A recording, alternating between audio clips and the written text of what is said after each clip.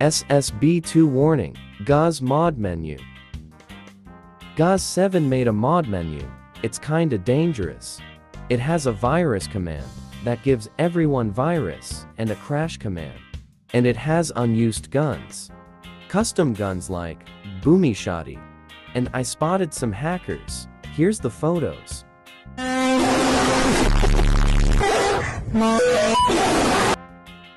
The fake tester thinks Carl is Gamzee and play in single player or with your friends.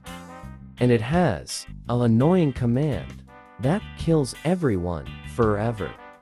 And an announcement from Gamzee. Dev Gamzee begun 808. The administration of the game does not play on public. Serve packs simple sandbox 2. If you have seen the players with admin skins, unannounced weapons, and other functions, do not communicate with them. Don't trust them. You can also add them to friends and help. Developers with blocking cheaters. Now, one question.